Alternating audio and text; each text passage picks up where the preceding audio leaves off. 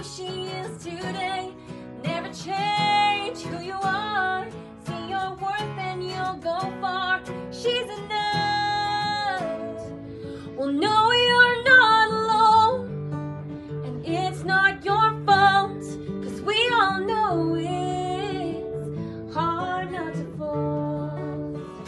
She's a country girl who loves rock and roll. She likes to turn it up loud and control.